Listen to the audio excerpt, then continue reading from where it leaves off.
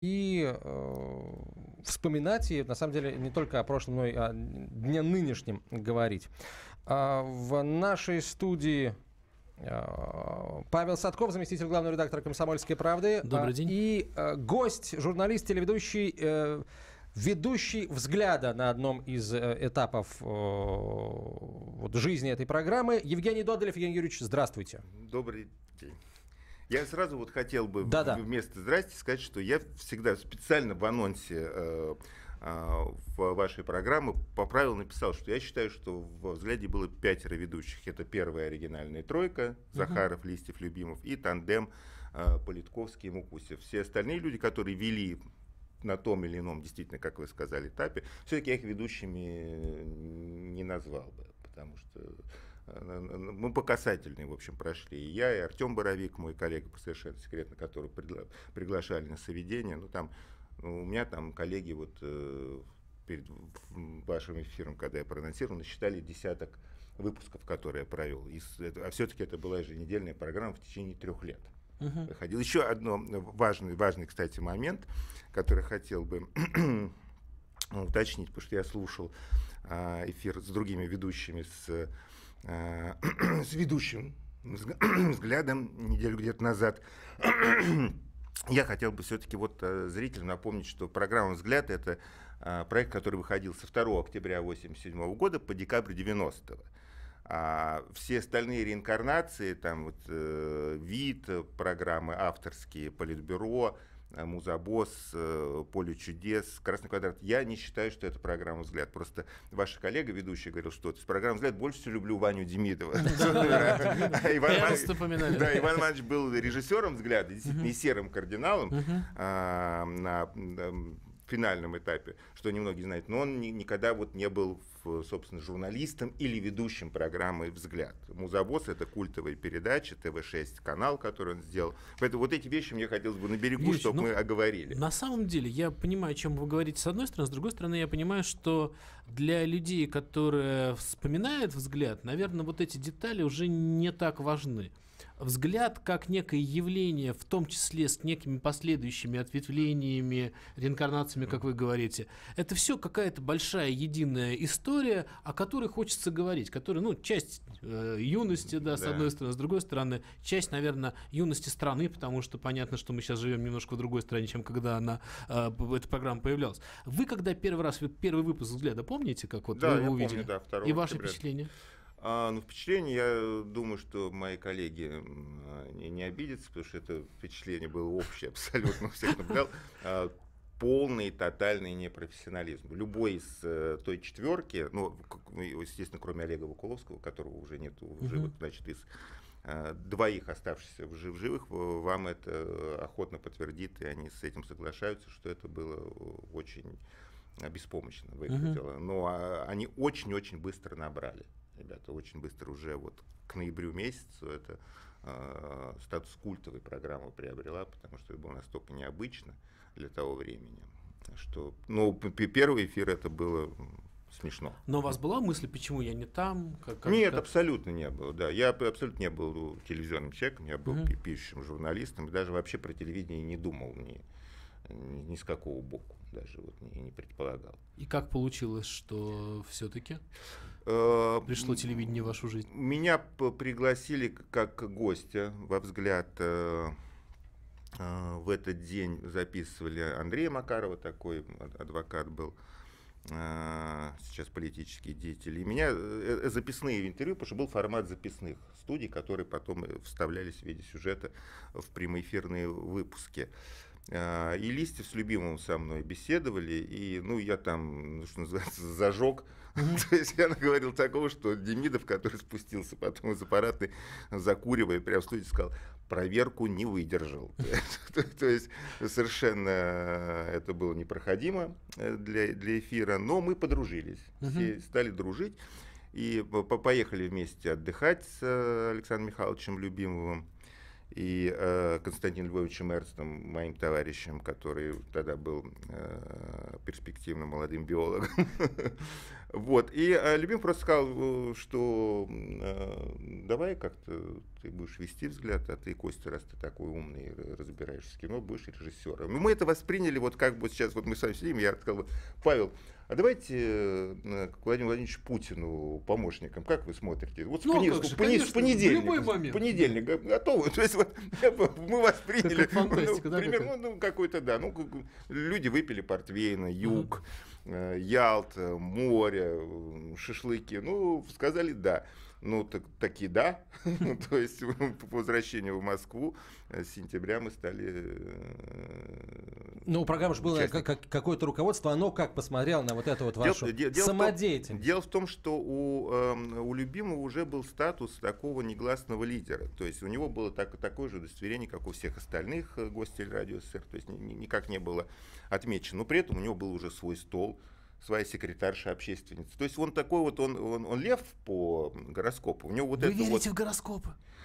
А, я нет, не то, что вот я буквально вот покупаю, думаю, так, на этой неделе мне, пожалуй, надо от свинины отказаться и, и ни в коем случае не лететь в Ленинград. Нет, ну что, что в этом что-то есть, uh я считаю, что да. Во всяком случае, то, что он действительно очень властный, такой uh вот э, лев, вокруг которого должен быть прайд.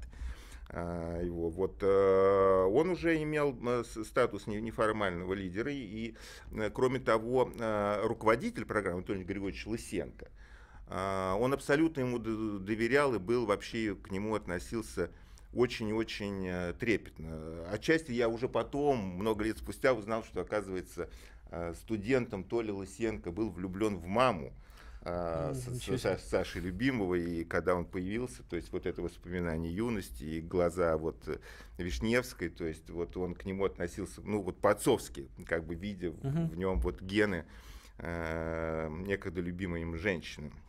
Вот, и э, он имел вообще достаточно большой вес. Я не знаю, как это происходило. То есть, как, как меня утвердили, утверждали вообще для меня это терра инкогнито, потому что в то время бытовали слухи, что вот этот и прямой эфир, он по каким-то специальным кабелям в хоккейном варианте, ну, за 10-15 секунд задержка идет на Лубянку, на Старую площадь, что вот это все как-то... Да-да-да, были же такие Да, все, ну, ну, не может быть, что пришли люди и говорили... И я был, честно говоря, когда я просто приехал, и там ни, никаких не было ни гримерных, uh-huh. ни трактов, ничего. Я приехал и сел, и э, сперва это, это выходило на орбиту днем, то есть в, в два примерно часа по Москве, вечер на, на Дальнем Востоке. Я понял, что я сейчас вот в прямом эфире, вот как сейчас с вами. И могу говорить все, что угодно, это же все-таки совершенно другой контекст и э, другой масштаб. Ну, давайте так признаемся, единственный канал был да, телерадио. Мы даже не спорим. Вот. Э, а, я был, собственно говоря, потрясен. То есть э, действительно э, абсолютно прав Эрнст, он в одном из интервью говорил, что вот настолько рушилась уже в те годы вся система, что в ящик мог войти вот любой человек в ящик, мы говорим про, про ну, телевидение, да, да. что настолько вот еще год назад там э, пропуск надо было оформлять за неделю, для того, чтобы просто попасть в Останкино. И там бесконечные проверки Э, там, первого отдела, или как он тогда назывался. А через год уже буквально там вот, ну, в 87-м уже вот люди совершенно случайные. То есть э, меня за, это, за, за два года до этого, 85-го, началась моя журналистская карьера, меня взяли в газету «Московский комсомольец», при том, что я не был комсомольцем. Вообще я единственный в ВУЗе, не был членом ВЛКСМ. Меня взяли в орган М- так, так, так. М- МГК ВЛКСМ. То есть, ну это вообще ну, было да, ну, а, не принято а, абсолютно, было просто... да, просто, то есть это был нонсенс. Угу. Что у меня в, в, в партийности, в, в графе в анкете стоял пропуск, что я БП. меня БП беспартийно взяли на идеологический э, участок работы. То есть эта система действительно очень стремительно на глазах разрушалась вся. Вот здесь мы паузу сделаем небольшую. Я напоминаю о том, что наши э, слушатели, наши зрители, потому что эфир можно еще отслеживать в социальных сетях на сайте Комсомолки, а могут э, прислать свои вопросы Евгению Додолеву. 967 200 ровно 9702. Телефон э, для ваших э, смс-ок в WhatsApp и Viber. И можно звонить в прямой эфир по номеру 8 800 200 ровно ровно 9702.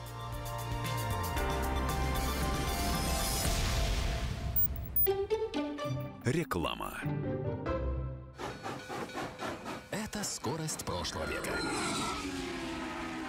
Вот это наши скорости. Компания Транстек доставит ваши грузы в любую точку. Скорость доставки гарантируем. Московская область, город Видное. Телефон 8495 532 6683. Короче, деньги нужны были позарез. Банк реально долго. Сумма такая, что друзья не вариант. Услышал на радио, возьми деньги под ПТС. Позвонил, приехал, и что вы думаете? Уехал на своей машине с деньгами. Паспорт, ПТС и СТС – это все, что было нужно. Погасил заем досрочно, без штрафов и без проблем.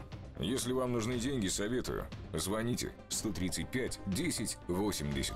135 10 80. О НКК «Микрокредит онлайн». Легендарная Тимирязевка приглашает на День открытых дверей. Руководство вуза и деканы встретятся с будущими абитуриентами, а выпускники академии поведают, как помогает им в жизни полученное образование. Вы еще ничего не знаете о достопримечательностях Тимирязевки? Сами студенты расскажут вам о них. Всех желающих ждут 30 сентября в 11 утра по адресу Большая Академическая, 44, строение 4. Телефон рекламной службы в Москве 8 495 637 65 22. Слушайте сегодня. В эфире радио «Комсомольская правда» журналист Сергей Доренко. На самом деле Россию покинула интеллигенция. Она ее покинула. Ее нет просто вообще. И в результате отказа от нравственной мыслительной работы Россия оказалась во власти маргиналов. О том, что же будет с Родиной и с нами, поговорим с Сергеем Доренко с 22.45 по московскому времени. Не пропустите. Вы слушаете радио «Комсомольская правда». С вами Татьяна Миткова.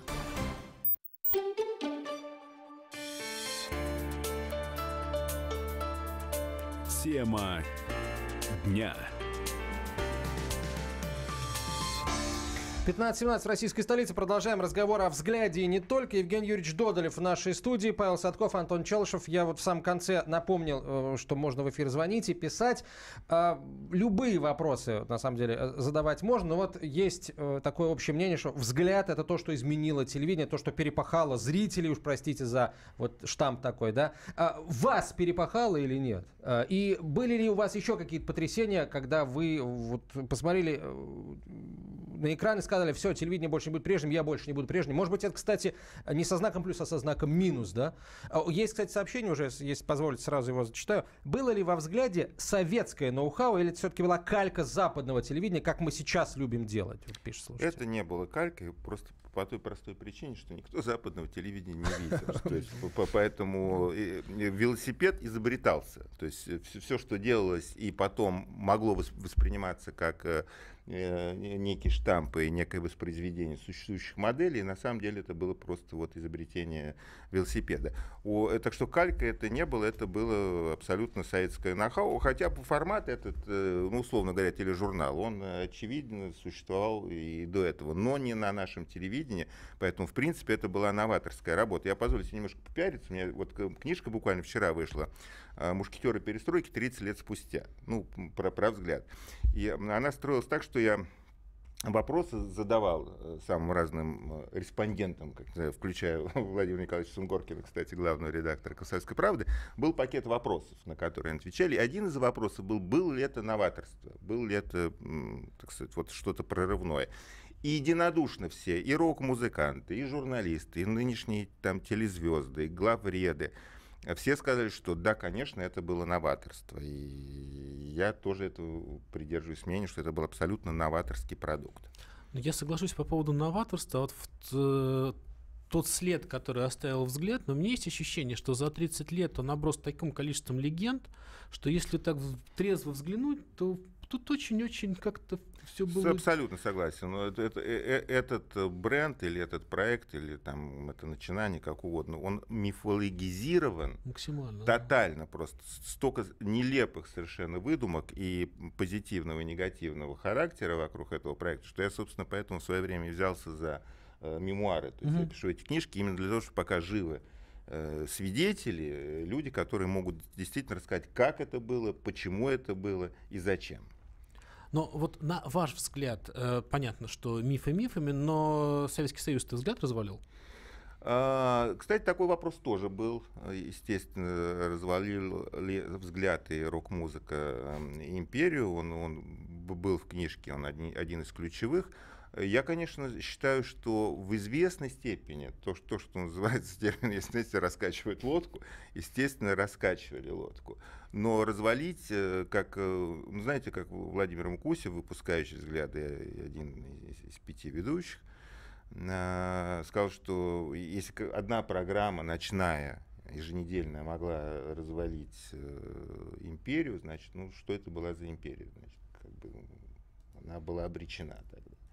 Не могу не спросить, как сложились ваши отношения с э, коллегами по взгляду. Mm-hmm. И, ну, понятно, что все серьезные люди, у всех свои, в том числе yeah. и бизнес-интересы, и политические какие-то интересы. Yeah. Как у вас, как вы прошли по а, прожили мы, мы, мы э, разошлись э, очень-очень со всеми, то есть совсем худо. Потому что, ну, во-первых, и, и идеологически. Я вот такой, знаете, есть термин ватник. Я там крымнашист, колорад все такое. То есть я совершенно идеологически не совпадаю со всеми бывшими коллегами. А, с Александром Михайловичем Любимовым а, у меня совсем плохо, при том, что я ему очень обязан, потому что он меня именно пригласил во взгляд. Более того, я считаю, что он лицо взгляда. Это вот, и если надо выбрать одного ведущего, сказать, вот этот человек, это взгляд, вот только одного, это будет и не Листьев, и не Политковский, которых я, конечно, ценю очень, это, конечно, Александр Михайлович Любимов. То есть он номер один а, и как ведущий, и как э, продюсер, но э, знаете, я все говорю, талант не, не, не облагораживает своего носителя. Поэтому э, человеческие его качества, я их оцениваю крайне-крайне низко. Я считаю его человеком мстительным, а, мелочным и очень-очень меркантильным. Вот, мы с ним разошлись э, очень категорически. Мне не дали, как а вот на днях э, звонила коллега наша бывшая общая и сказала, что э, на канале федеральном в понедельник будет запись передачи, посвященной mm-hmm. вот этому юбилею. И э, Любимов поставил условие, что там Додолева там быть не должно. Додолев и Мукусев просто в, в черном списке, они она вот просто, просто со смехом мне это рассказывала. Я говорю, ну это вот смешно, потому что я тоже много что могу думать. Ну, расписываться в этом перед э, редакторами и журналистами. Все-таки мы журналисты. Сейчас существуют соцсети, вот эти вещи невозможно совершенно э, удержать в куларах. Они ну, не, не, непонятно, о каком федеральном канале идет речь, но в принципе Это в любом первый. случае ситуация не, не красит продюсеров, потому что... А... Полить, конечно, гости. Совершенно, Антон, с вами согласен, потому что они не красят продюсеров, потому что они не должны, конечно, вот, вот, вот, вот эти вещи выпускать. Др- другая, другая мысль э, э, в голову закралась. Что может быть э, лучше, чем вот э, вынести вот эти вот все старые, старые дрожжи и дать им возможность Ну, еще... знаете, я с вами соглашусь, потому что это все-таки юбилейный, как, как принято говорить, датский, ну, какой-то дате да, посвященный да, да, выпуск. Он должен быть такой достаточно э, мажорный, так сказать, вот. Э, Но people-то хавает хайп. Ну, Ух ты, как ты сказал. Здесь, здесь, здесь хайпануть на, на этой теме, даже если бы в студии произошел бы какой-то конфликт, а я не думаю, что он все-таки произошел бы. Э, во-первых, это не осталось бы в эфире. А, во-вторых, ну кому это интересно? Кто помнит сейчас взгляд? Ну давайте называть вещи своими именами. Вот мои, мои студенты, они совершенно вот, э, то есть они знают, что был такой взгляд, знают, что такой был Листьев, которого, как они считают, убили ведущего взгляда и убили за профессиональную деятельность. Это совершенно не имеет никакого отношения к действительности. А, о проекте помнят, а проект не помнят. Ну Поэтому... да, и объяснить невозможно. И что... я не, не, не думаю, что какой-то есть э, интерес вот у телезрителей. Сейчас э, есть масса и ньюсмейкеров э, и событий гораздо более интересных. Но мне кажется, вы недооцените ностальгию как чувство, которое вызывает э, желание послушать, посмотреть. Ну, вы, вы выросли в целое поколение людей, ну, выросли, которые ну, ностальгируют ну, уже там нет... по Богдану Титамиру, по каким-то другим вещам, или там по журналу «Птюч». У меня точно такое же чувство к кабачку «13 стульев». Я не видел ни одной программы. Для меня все говорят о культовости этой программы, но я никогда не видел ее вживую, и о чем это люди разговаривают, всегда как-то немножко так вызывает. Так что нет, нет, я думаю, что здесь вот... А... Я, я даю себе отчет в том, что это, в общем, вчерашний и позавчерашний день. Ну, если мы говорим о вчерашнем, позавчерашнем, хочется говорить о сегодняшнем тоже. Я очень удивляюсь людям, которые сейчас в состоянии преподавать журналистику и рассказывать о том, что это такое. Потому что по своему собственному опыту я понимаю, что каждый день она меняется, и каждый Совершенно день она абсолютно разная. Согласен, как да. вы это делаете? Что вы говорите сейчас э, ребятам? Нет, у меня спрашивают, и mm-hmm. я просто отвечаю на вопросы. То есть я никогда не говорю, что вот взгляд или что-то. Я, я прекрасно понимаю, что и как, этот телеязык очень устарел. Mm-hmm. И вот и есть канал «Ностальгия», который специализируется на показе Да-да-да. вот ста- старых проектов. И, и я просто, даже когда попадаю на него, вот если, если это взгляд, я выключаю, потому что это просто слезы. Это очень медленный темп, это, э, это ничего сенсационного, потому что э, тогда сенсацию можно было сделать, ну, э, было запрещено говорить буквально обо всем. Ну, вообще все было запрещено. Поэтому показ любого музыкального э, видео, какой-то сюжет о том, что там вот я помню делал сюжет, что там сбила э, какая-то номенклатурная тетка девочку, и потом э, гаишники убрали знак угу. соответствующий. Ну, господи, сейчас мы знаем историю про мальчика, который ну, шестилетний оказался пьяным. Сколько вот этих историй, с, не дали как вчера, да, да, гаишника да. сбили. Это происходит это, это на 2-3 на дня. Тогда это был сюжет, он не проходил. Угу. Там его что-то вырезали, да, и потом его обсуждали. Боже мой, сейчас о, о чем мы вообще говорим? Это, это э, даже не помню, кто была эта тетка и э, в чем, в чем там была суть. То есть э, можно было сделать сенсацию почти из, из ничего, потому что ничего не разрешали. Поэтому как только что-то удавалось пробить, а, какой, какой то или иной, тот или иной персонаж, а, рассказать о там, том или ином явлении, это сразу обсуждалось, а, потому что еще и выбора особенного не было. Я повторю, канал фактически был один. Вот, центральное телевидение фактически было вне конкуренции. Ну а сейчас, вот, э, э, как вы справедливо заметили, любая новость, даже самая горячая, она живет там э, не то что несколько дней, а зачастую несколько часов. Вот есть у вас понимание того, вообще к чему мы идем, какие новости у нас будут, скажем, пользоваться наибольшим вниманием аудитории и, ну вот давайте пока так. Знаете, не, не, нет, нет аудитории, потому что существует масса разных страт, Э, разных слоев, и, и, и в каждом есть э, как бы со свои приоритеты. И более того, те же самые новости та или иная группа социальная трактует э, по-своему. То есть каждый живет в своем мире. Кто-то живет там в условиях кровавого режима и оккупации Крыма кто-то живет там в, в, в условиях отражения атак э, там, на нас. Вот, вот недавнее заявление вот, Фримана о том, что Россия напала на США, они ведут войну, значит, они живут там вот в каком-то в таком ощущении, что, что сейчас... Э, э, сейчас можем... реклама, Евгений Юрьевич. Реклама и новости. Понял, да. Продолжим через 4 минуты.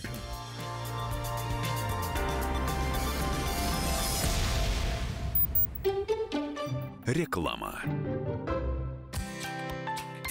Слышала? О чем? Бархатный сезон в Сочи по сниженным ценам. И дети до 7 лет вообще бесплатно. А где это? В комплексе Аквалоо. Отдых по системе «Все включено». Проживание, шведский стол, аквапарк с морской водой, собственный пляж, спортзал, анимация, детская комната. Вот это да! Идеальный отдых Аквало! Записывай телефон 8 800 234 2040. Комсомольская правда. Сегодня в газете «Комсомольская правда» читайте специальную информационную вкладку «Спасатель». Глава МЧС России Владимир Пучков рассказал депутатам о развитии системы гражданской обороны. Самые важные поправки в правила противопожарного режима, которые сегодня вступили в силу. Из Байкала вытащили почти сотню машин, а еще снегоходы, мотоциклы, вертолет и самолет. Информационная вкладка «Спасатель». Узнайте больше. Для лиц старше 12 лет. Телефон рекламной службы в Москве 8 495 637 65 22. Сегодня в программе Андрея и Юлии Норкиных 120 минут. На Западном информационном фронте без перемен. Или почему за океаном не оставляют попыток очернить образ России? Об этом поговорим с сенатором, председателем Временной комиссии Совета Федерации по информационной политике Алексеем Пушковым. Слушайте и звоните с 7 вечера по московскому времени. Сегодня в программе «Депутатская прикосновенность». Стоит ли придать проституции в России официальный статус? Ведь, несмотря на запреты, представительницы древнейшей профессии все равно находят своего клиента. Обсудим с депутатом и борцом за нравственность Виталием Милоновым. Слушайте и звоните с 9 вечера по московскому времени.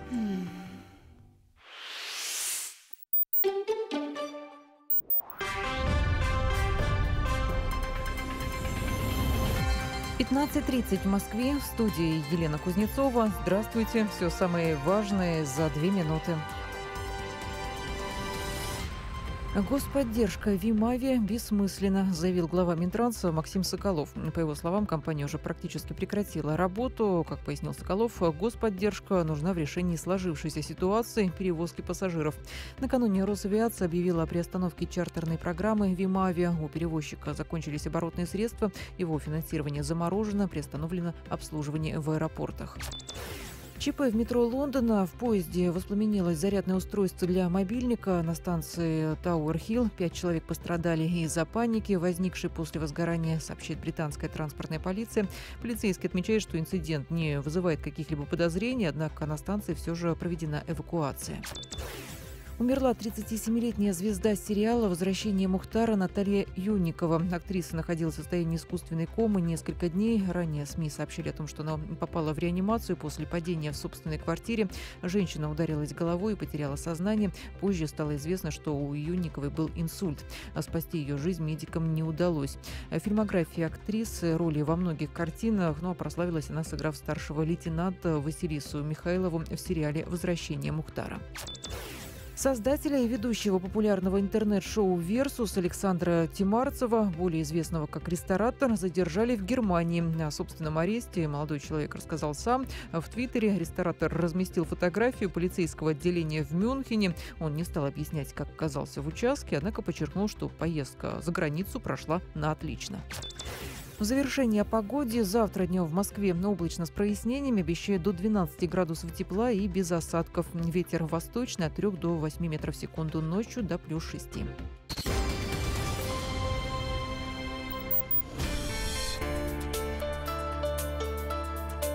Тема дня. Продолжаем разговор о взгляде. Евгений Юрьевич Додолев в нашей студии, журналист, телеведущий Павел Садков, заместитель главного редактора «Комсомольской правды» я Антон Челышев. Сообщение очередное давайте, э, давайте, давайте прочитаем.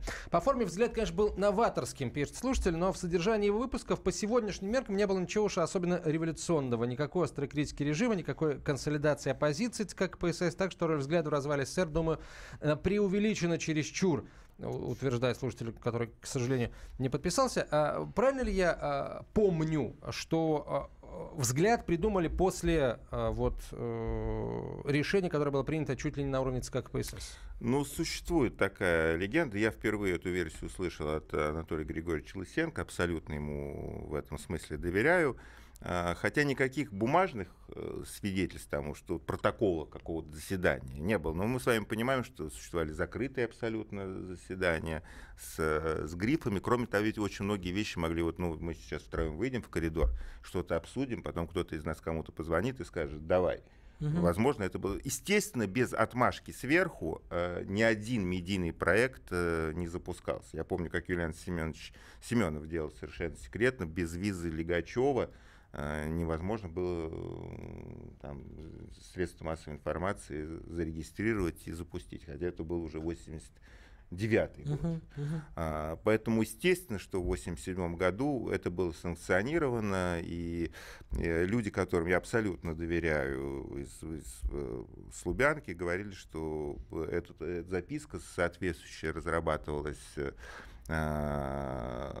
вторым управлением, то есть управлением контрразведки э, КГБ СССР, о том, что молодежь слушает э, Севу Новгородцева, угу. BBC по пятницам, почти вся молодежь у радиоприемников из-за музыки, а потом между этими э, музыкальными номерами в паузах, значит, впрыскивается дозняк э, пропаганды да. западной, что нужно какую-то альтернативу, что в пятницу вечером не BBC слушали, есть обычай на Руси, ну, значит, уже BBC такая. То есть, получается, взгляд не развалил советское, а не помешал так сказать, западной пропаганде развалить Советский Нет, Союз. ну просто иногда замысел очень отличается, то есть воплощение очень отличается от замысла. Я думаю, что как раз здесь этот случай, что решили сделать молодежный музыкальный проект с западной музыкой, где была бы позволена западная музыка. А люди все равно слышали то, что хотели слышать. А, но он о- очень си- сильно и быстро политизировался. И кроме того, вот это м, а- абсолютно необычная для советского телевидения манера свободных ведущих и отсутствие этого официоза, это ну, то, что, то, что называется ве- ве- ветром перемен. Вот. И я думаю, что очень быстро вышел из-под контроля э, взгляд. И э, стал действительно, я думаю, что значительной политической силой. И не- не- недаром же э, почти все ведущие взгляда были избраны на ура, про- про- прошли в депутаты. Мгм. И э, я когда говорил с Лысенко по э, этому поводу, он сказал, что даже э, табуретку, которая стояла в студии, если бы ее выдвинули тогда в депутат, в 89 году ее избрали бы э, с песней. Поэтому ду- думаю, что мы, забываем уже сейчас контекст. Но вы который вкусили всё- славы, вы почувствовали у себя... Да, а там это очень легко было про- про- прославиться. Буквально, буквально один эфир, и Мгм. все, ты не можешь выйти э, на улицу. То есть это... И, и, и кроме того, эта слава была, она вот о- очень сейчас много а, журналистов, они, слава, но у них такого, ну так безобидного, ну клоунского характера. Мгм. Что человек там шоумен, поэтому к нему запросто могут подойти, попросить там с ним сфотографироваться, выпить. А, а, э, взгляд воспринимали как там героев. Я там помню, я летел в, в в Уфу, и э, командир сказал, что у нас там на борту это и вышел в салон и пожал мне руку и сказал, что мы вами гордимся. И вот этот вот этот был пафос такой, и, ну действительно вот было ощущение. И, ну кроме того, мы, мы, мы, мы вот лично я про себя скажу, что я реально считал, что могут арестовать, там засадить в психушку, как-то репрессировать. То есть ощущение вот ну на первом этапе, когда не было никаких ни денег, ничего, вот было ощущение какого-то такого драйва и какого-то такого подвига, и знаете, там, как у, у Бориса Борисовича Гремячкова, который, опять же, по-человечески абсолютно не воспринимаю, не уважаю, но все время цитирую, потому что э, это очень адекватно было тому времени, у него там есть такие строки, что, э, ну, как бы там горящие нефтью хлещется с этажа на этаж, там у нас нет надежды, но этот путь наш. вот это наш, да. ощущение было, что вот надежды нет никакой, ничего из этого не получится, но что-то сделать надо, рвануть тельняшку на груди, что-то выкли- выкрикнуть про Гляна Иванова Мгм. и про коррупцию. Что- Но страшно было. ну, вот это, б- это страх настоящий. Ну, б- было стрёмно, наверное. Стрёмно, да, стрёмно. ага. То есть, то есть э, оказаться за 101 километром высланным из Москвы, такая опция рассматривалась абсолютно спокойно. И я помню, что мы из, из ленинградской командировки, когда ехали с Александром Любимым и с Константином Эрстом, мы, ну, Саша, привя- Александр Михайлович, привязывал к телу эти бетакамские кассеты с записями для Мгм. того, чтобы там в багаж их не сдавать. А из Сочи он же отправлял кассеты с проводницей, потому что понимал, что его в аэропорту обыщут и обыскали такие, Мгм. задержали и арестовали, кстати. То есть, ну, это бы были такие моменты достаточно... А 91 вы помните, что, что делали, что было вот когда... э, 91 год уже немножко была другая история. Во-первых, появились деньги. Мгм. То есть, то есть там, там каждый год был э, год за 10, разный, как да, я, это я говорю. абсолютно То есть разные это, периоды. совершенно, совершенно другая тема. В 91 год были, появились уже деньги, то есть там совершенно э, по-другому воспринималось все. Многим было уже что терять. Кроме того, деньги, они ведь еще были не, не собственно деньги как деньги, а деньги как некий а, атрибут фронды, потому что деньги были, условно говоря, деньги были запрещены, ну, там, бизнес-деятельность, слово бизнесмен было ругательным, спекулянт, 154 статья Уголовного кодекса Российской Федерации существовала за... за- за- Форцовщики и да. прочее, да. Вот, а, поэтому это был такой элемент фронта, что вот деньги это как, как элемент свободы, как элемент того, к чему мы стремимся. Мы жили полной иллюзии. Мы были наивником по отношению к Западу. Мы казалось, что Запад, ну что им от нас надо? У них и жвачка, и Макдональдс, Мгм. и рок-н-ролл. Я говорю, что им от нас надо? Какая нефть? Ну что, как- какой Байкал, какие леса? Ну, вот это магний, вот, и, вот это, вот это все, это никель, никому это не нужно. Они просто хотят, боятся нас, и мир, дружба, жвачка, мы будем жить э, дружно. Вот э, были вот полные иллюзии, что сейчас вот это вот совок рухнет, и мы заживем в прекрасном идилле. То, то есть то, что э, мы имеем дело с хищником, который будет дожирать до тех пор, пока можно будет, и выдирать куски. Никто не отдавал себе в 91 году отчета в этом. Вот, вот, вот этот геополитический расклад, он э, был абсолютно непонятен. Во всяком случае, мне и очень многим. Я не скажу, что всем, не буду говорить за всех, но очень многим моим коллегам было непонятно совершенно картина мироздания. Удивительное дело, почему? Потому что получается, что ситуация очень похожа на нынешнюю. Сейчас э, тоже а, вот есть, есть мы, есть Запад, но вот это а, а, ощущение того, что мы не более чем вот такой вот лакомый кусок пирога, оно есть, мне кажется, ну, гораздо большего числа людей, чем было раньше. А хотя раньше пропаганда была намного сильнее, чем Этой сейчас. Почему не никто не верит. Пропаганда была очень тупая. И э, все, все э, смеялись над этими штампами «Закрома Родины», там американская военщина, израильская военщина, а сейчас мы понимаем, что есть и американская военщина, и израильская ну, военщина. С закромами сложнее уже. А, да. Ну, их просто меньше закромов. Да, закромов гораздо меньше. А, просто эта пропаганда была очень-очень топорная, и в нее, не верили, она играла как раз против на самом деле режима. А, а на самом деле сейчас ты понимаешь постфактум, что очень многое из того, что говорилось, оно соответствует раскладам. Во всяком случае, о том, что э, все крупные игроки на геополитическом поле это просто хищники, которые живут друг друга или вступают в альянс друг с другом. Э, тогда не, не было такого ощущения. Казалось, вот она, Америка. Ну вы 19 августа где были, 91 год? У 19 августа очень смешно. Я прилетел в, э, в 7 утра из Болгарии, а, вот, и, и лег спать, и э, в 9 э, или во сколько-то ночи меня разбудил звонок из Парижа от моего соавтора Франсуа Моро. Это такой был журнал VSD, э, очень, очень такой огонек французский. Вот мы с ним писали книжки. Мне Юлиан Семенов в свое время с ним познакомил. Он говорит, что у вас там творится? У вас переворот. Я говорю, Франсуашечка, ты э, офигел. Вот, ну, короче говоря, так скажем. Э, типа, дай, дай поспать. Э, и в это время э, слышу какой-то такой вот э, звук. Ну, мобильных телефонов не было, телефон был на проводе. Я говорю, минуточку, я выхожу и вижу, как по проспекту идет э, колонна БТР. Вот. Я позвонил часов в 11 э, э, Тельману Гдляну. Мне жена сказала, что он арестован. Следующим я позвонил Калугину, такой был опальный генерал КГБ.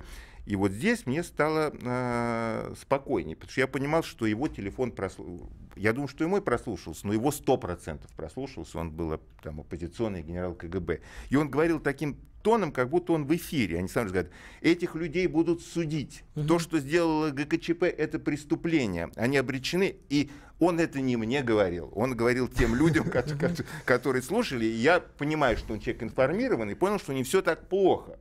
Вот, потом я позвонил э, э, Косте Кинчеву, это из того, что помню. Он э, сказал, что вот, к Белому дому, он говорит, гитару брать. Я говорю, знаешь, лучше водки возьми. Позвонил Ване Демидову, на что он сказал, не суетись, ребята уже работают. Там вот, и в общем как-то вот э, было так. Здорово. Прям время вспоминается сразу какими-то... Ну, да, сейчас, сейчас, сейчас, уже, сейчас это можно уже смотреть как-то отдаленно. Да, ну, я думаю, что это может быть на несколько месяцев, и что были аресты, и что могут угу. быть аресты. Вот это я как бы допускал. Ну, вот Тельман Харинч Шиглянов просто вот э, Сусана, его жена, сказал, что вот просто забрали ранним-ранним утром. Приехали. Не могу не спросить о журналистике, потому что то время, когда и вы работали в газете, и во взгляде, и долгое время потом, да и в комсомолке всегда, да, должна был, был такое понятие, как гвоздь. Вот гвоздь номера, mm-hmm. который держит все э, тело, и то, то, чего, собственно, ждет читатель, mm-hmm. вот некое событие, которое глубоко расследуется. Сейчас э, абсолютный тренд на какое легкое и восприятие жизни, и восприятие событий. То есть я в пять минут вам напишу сенсационную заметку, и никто не заметит, что я многом соврал. Э, что сейчас происходит? Это не проверка фактов, это такое легкое отношение. Что, к чему это все приведет? Ну, я думаю, что просто меняется модель восприятия информации. Mm-hmm. Сейчас такой, во-первых, сейчас у нас есть сеть, то есть информации сейчас, если раньше был дефицит просто узна- узнавали что-то, кто-то кому-то что-то пересказывал, кто-то съездил за границу и рассказывал. А, э, клипы мы ставили во взгляде. Если кто-то мог добить кассету, Артем Боровик привез кассету на ВХС, где там с, с клипом, и во- вот у вас есть музыкальный номер, без всяких авторских прав. А, а сейчас информации очень много, а, очень много фейка, в ней трудно ориентироваться и падает доверие к информации, потому что действительно фальшивых Ну, новостей очень зачем много. задумываться о том, правда это или неправда, все равно умрет через несколько часов, а может несколько минут. А, Евгений Юрьевич, спасибо вам большое. Евгений Додолев был сегодня в нашей студии, Павел Садков, я Антон Челышев. Вспоминали мы о взгляде, И день рождения, который мы скоро вас. будем отмечать. Спасибо.